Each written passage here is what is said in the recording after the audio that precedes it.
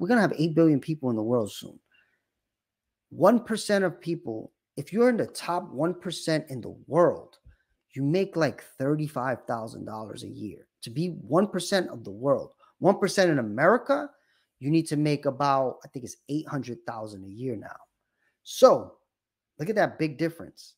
One percent of the world, thirty-five thousand. One percent in America, eight hundred thousand.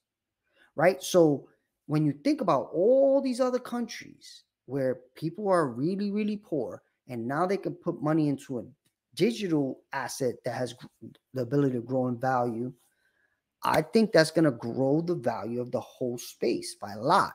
And again, I mean, nobody knows for sure. You have to bet on what you believe is going to happen. I'm betting hard on the digital asset being something that most of the world has versus something like gold. I was just researching gold because um, you know people ask about gold. The thing about gold is right now, if I told you go buy gold, what would you do?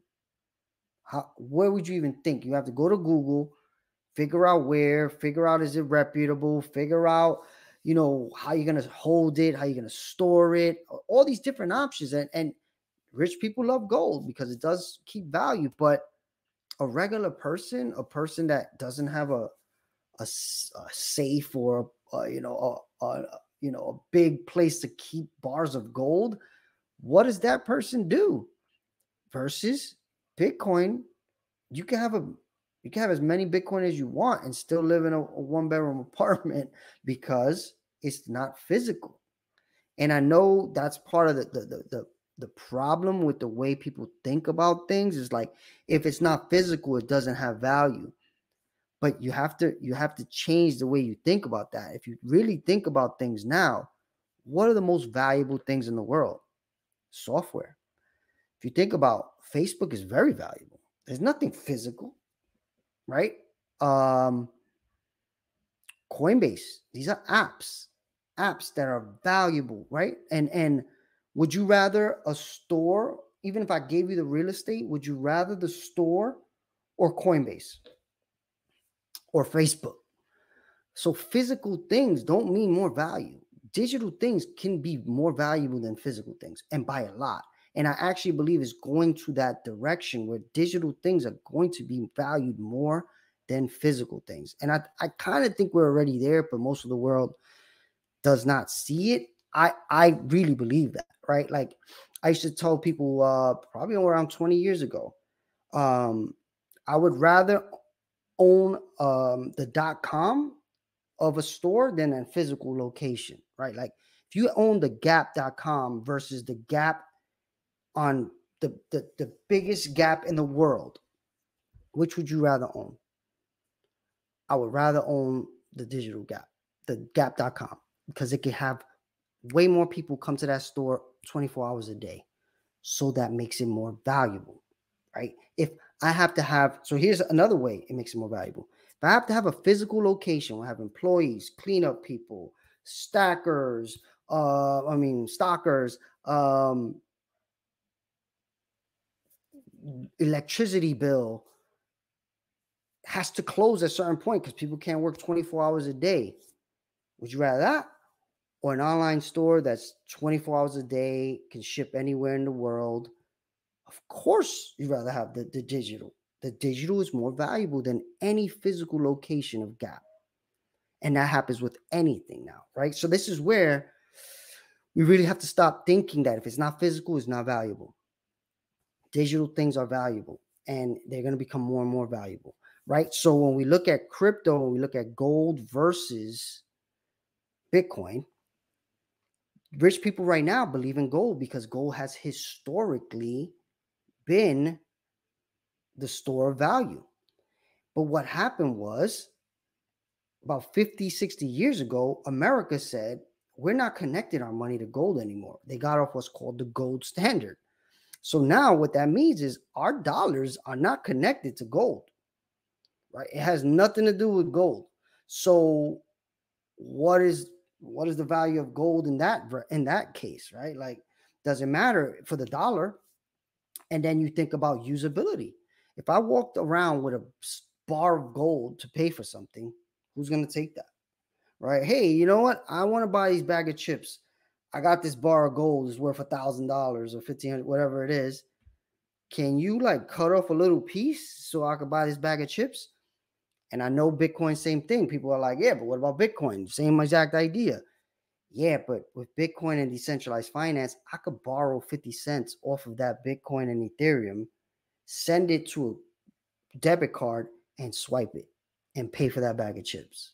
All this could happen in, in minutes, less than minutes. And I've done it, I do it every day. When the world is able to do that, what do you believe they're going to do more? Carry around bars of gold or have digital assets where you can do what I just said? I believe is no brainer. But again, everybody needs to make their own decision. That's why they say do your own research. Part of what I'm telling you, I'm telling you my research and what I believe, but you can't take what people believe and just take it as your belief. You have to do your own research, say what you believe, because there's people who they still believe gold is going to be the thing. And they could be right, I could be right. Something else could happen where we're both wrong.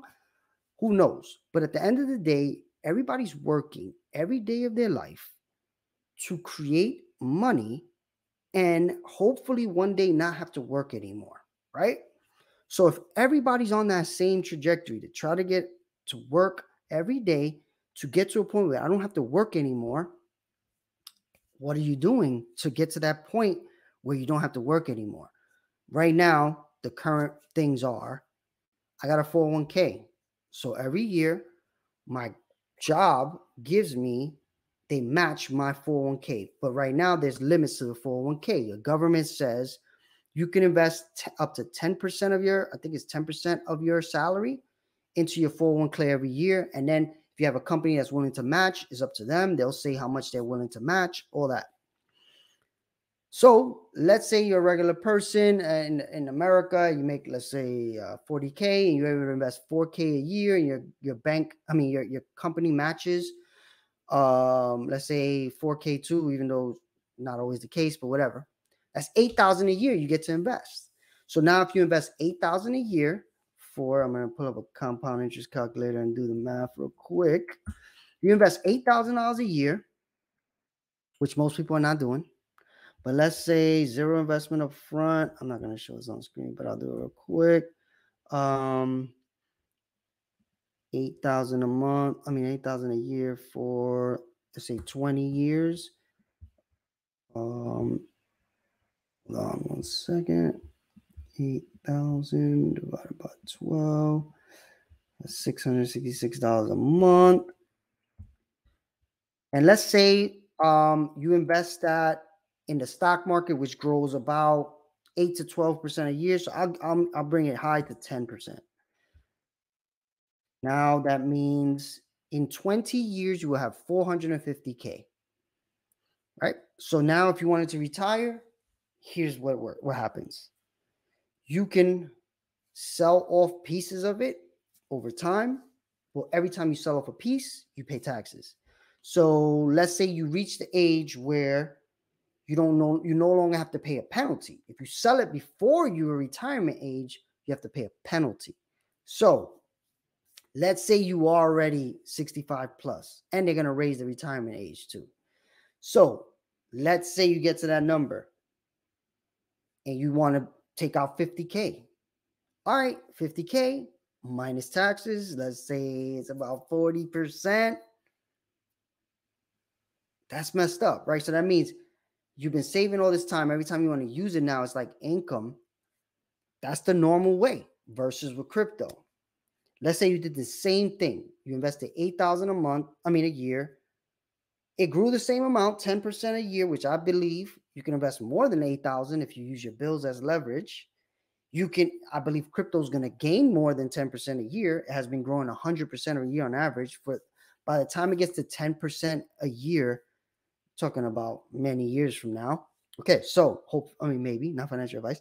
So let's say you had the same 450, but it was in crypto. I don't have to sell it.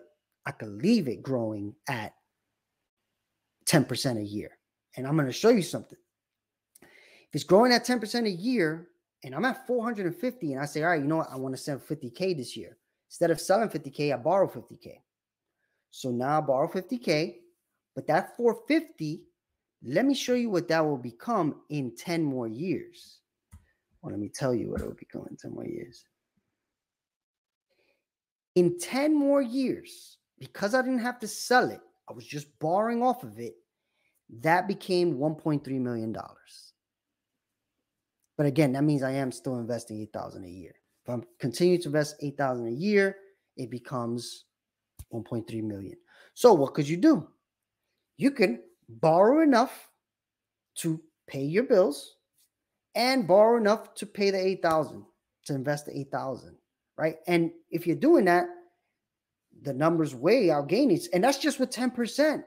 I actually believe it's going to be much higher than that, right? And again, that's up to you to do your own research. And this is why using your bills to leverage and and buy assets to me is a no-brainer. It's just right now i'm to the point where i'm trying to figure out how to explain it to people.